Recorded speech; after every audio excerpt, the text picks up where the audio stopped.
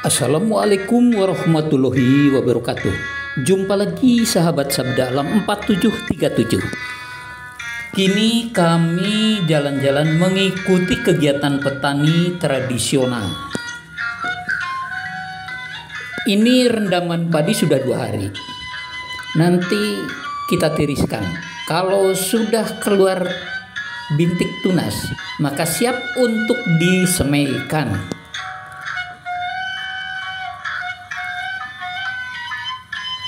Ini padinya udah keluar tunas tuh.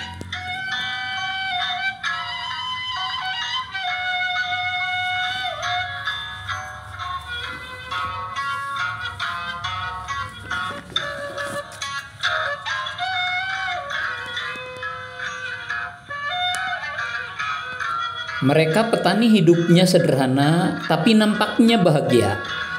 Karena petani pandai mensyukuri dan menikmati apa adanya. Mereka selalu senang hatinya, bergembira dan sehat selalu.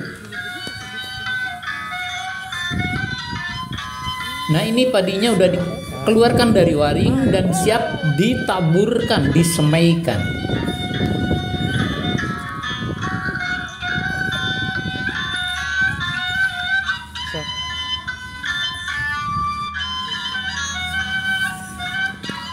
Ini persemaiannya sudah siap.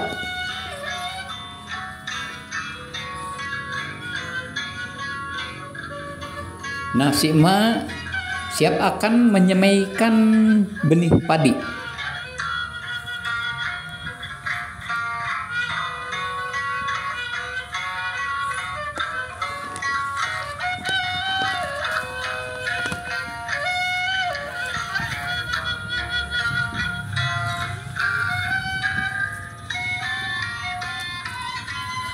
Ya, disemaikan tipis-tipis aja, rata. Jangan terlalu tebal. Nanti kalau terlalu tebal bertumpuk, tumbuhnya kurang bagus.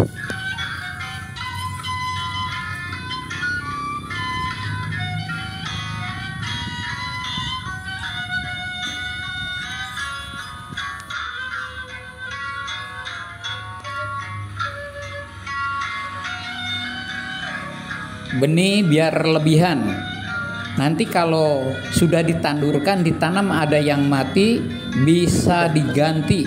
Makanya harus lebih benihnya, jangan dipaskan.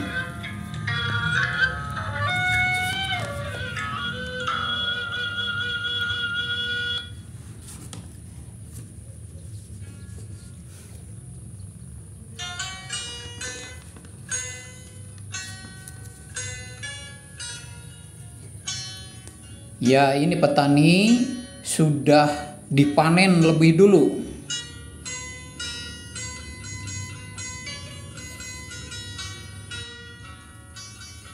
Sudah ada yang dicangkul.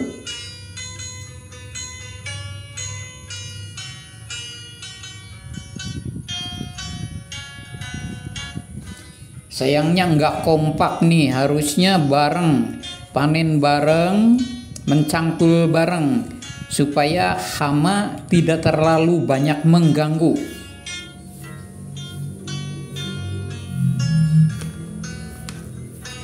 Setelah disemai lalu ditutup dengan jerami padi, maksudnya supaya jangan diganggu oleh burung.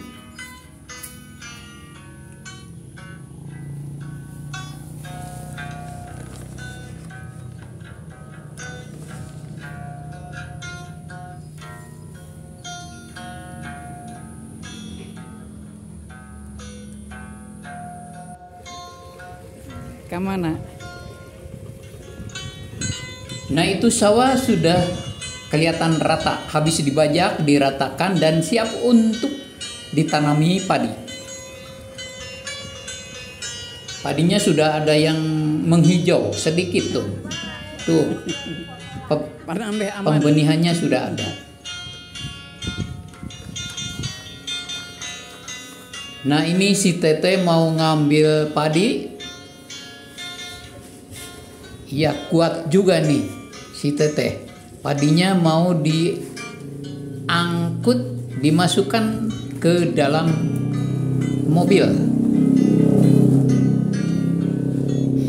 Walaupun tampilannya kotor tapi pribadinya bersih. Rendah hati menghargai kepada sesama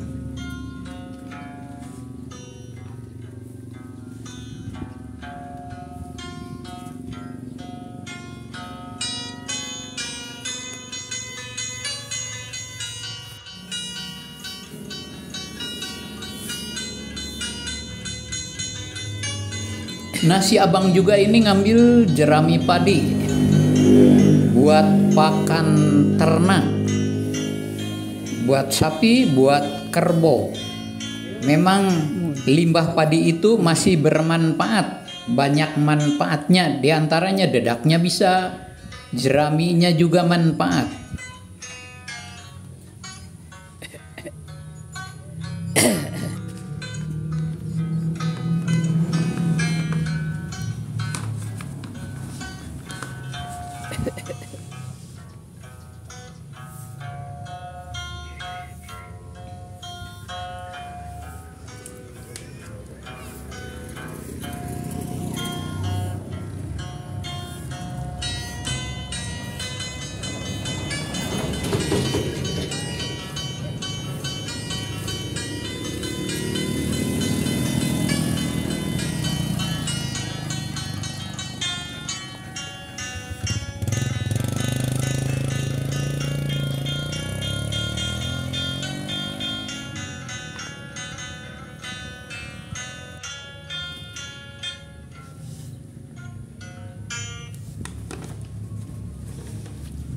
Ya ini walaupun di kampung di pinggir sawah ada kolam juga, airnya jernih. Memang di sini subur air. Sawah bisa ditanami setahun tiga kali lah. Tanah di sini subur-subur.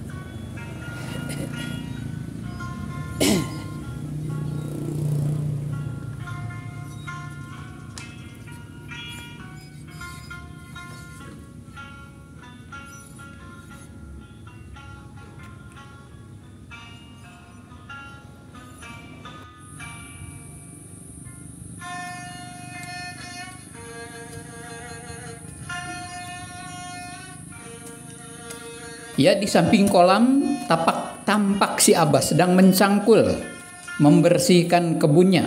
Ini maksudnya akan ditanami padi lagi. Ini si Abah usianya sudah 75 tahun lebih. Memang petani itu walaupun sudah tua kuat-kuat karena beliau tiap hari olahraga. Olahraganya hasil ganda. Badan sehat, hasilnya bagus, bisa membersihkan sawah kebun bisa ditanami. Salagir baru. Istirahat dulu bah.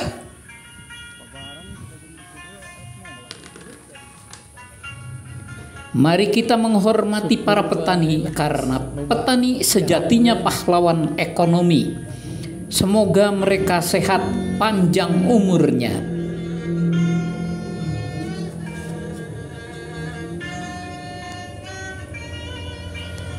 Nah, ini adalah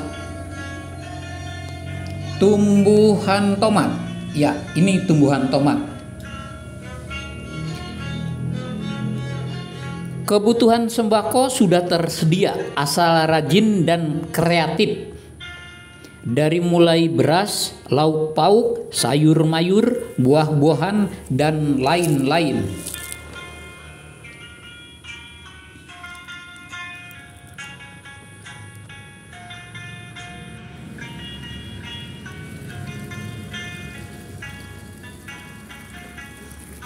Nah ini tomatnya sudah pada besar-besar sebentar lagi sebentar lagi akan panen.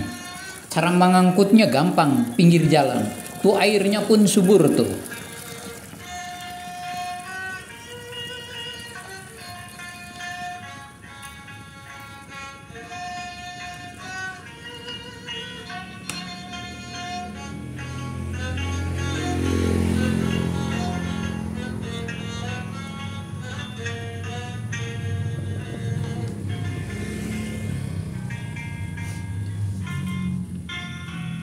Ya, sebentar lagi kami akan pulang akan melihat orang yang tadi bawa padi ke rumah katanya akan dijemur. Ya, itu jalannya. Kita lihatlah. Ke mana?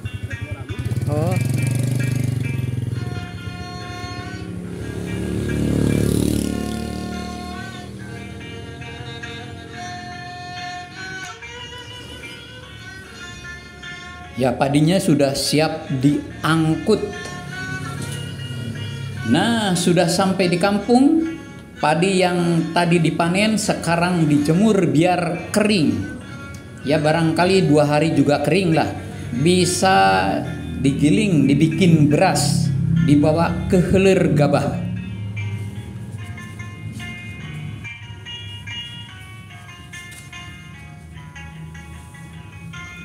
Ya, demikianlah kegiatan para petani. Mohon maaf dari kekurangannya. Terima kasih kepada yang telah menonton video ini. Semoga sahabatku diberikan sehat walafiat, banyak rezekinya, sukses segala usahanya.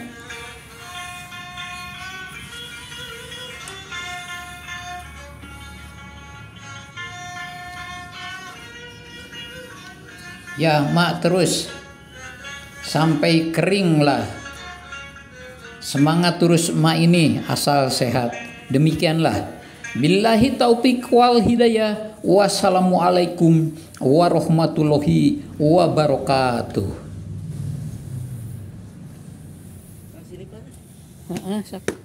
Katanya habis sabut gigi. Ini tambal, Oh, tambal permanen. iya deh.